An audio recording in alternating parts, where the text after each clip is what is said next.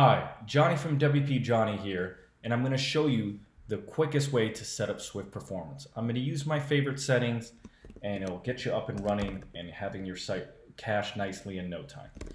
So first, I'm going to show you how to set up the Swift Performance Lite version. So usually when we first turn it on, you're, you're probably going to see something like this, a setup wizard. You click on manual configuration, and you'll get there. If you don't see that, you can hover your mouse over the, the Swift Performance Lite, click on settings, and you'll also get there. First thing I'll do, I'll click on advanced view so we see all the options. If you're on a VPS or a high powered server, I actually might prefer it like this. If you're on a, a slow shared server, then you might prefer that. So up to you. Okay, most of you are going to be on a, a slow, crappy shared server, so leave that on. We'll go to tweaks. Okay, here you can put your 301 uh, HTTPS uh, redirects. If you don't know what the, those are, you can look it up. You can also look it up on my website. Uh, disable heartbeat, I, I can leave this alone, but if you want, if you have time, I would do something like this. Maybe something like that. Okay. Cron jobs, can't do anything there. I don't mess with that. I don't mess with this. I turn off lazy load. I leave iframes on and I check that. Okay, I take this off. I don't want any extra processing. I never want to limit threads, by the way. Okay, I leave all this off. Sometimes it's uh, all that stuff is checked. If you want to minify HTML, you can do it from Cloudflare. I leave that off. I leave that off. I don't use that. I put this on action-based mode. I put this on rewrites, not PHP. I make sure this browser cache is checked. There's I make sure I make sure gzip is checked. Some of you with Brotli enabled on your server, you you don't need that, or you can have that anyway. Separate mobile cache. If you are using AMP or some kind of plugin that that loads a, a different version of your site for mobile users, then you can select this. All right, and can't choose any of those. Up here, I basically choose every option so that only pages, posts, and products are available. All right, that would be the, the standard.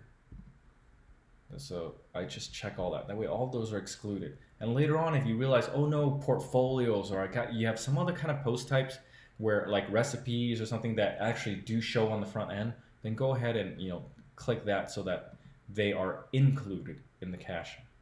Here, uh, checkout and my account pages for WooCommerce are automatically uh, excluded by default. But what I would like to do is I always exclude any page that has forms, for example, like contact pages. In the warm-up, I pre-build cache automatically. Um, if you have the option for unlimited, pick unlimited. Just pick the highest speed you can.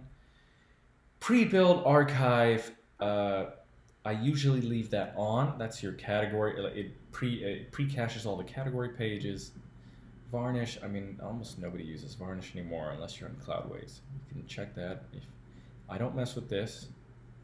Okay, if you see any special optimizations for certain plugins, if you have access, that's fine. Cache empty minicart, yes. CDN, go here. If you're using Cloudflare CDN, you hit save changes, and we're done. Okay, so I'm just gonna hit save changes. That's fine image optimizations only if, if you pay, database only. Oh. Um, so some of these you can use these if you want, but we're no longer in the cache plugin.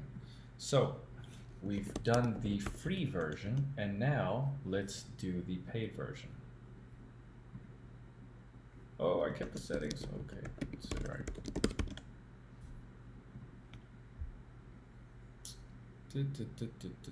Okay, and we're back here.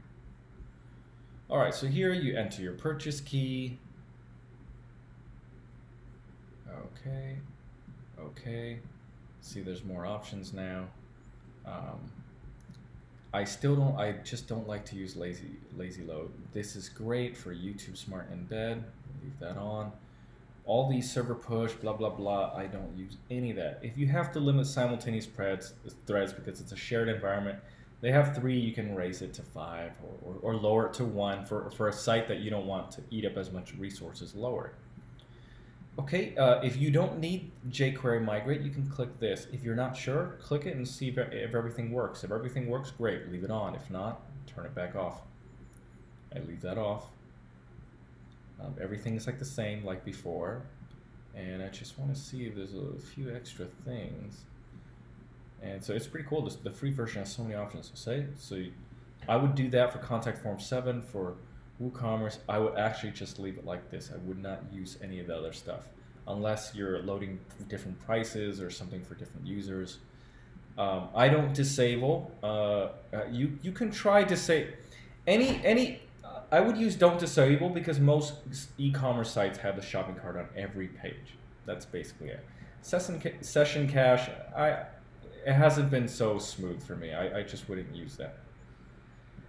Okay, database a critical font. If you're using, um, oh, oops, I, you can't see it, but if you're using uh, Font Awesome 4 or older, then go here and there, you're gonna click a button that says, uh, it's like list critical fonts or scan, scan fonts or something.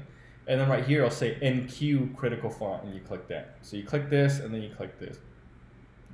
And then over here, um, for now, we don't mess with that. And then you're done. So that's it. You'll have your site sped up in like 30 seconds. Thanks for watching.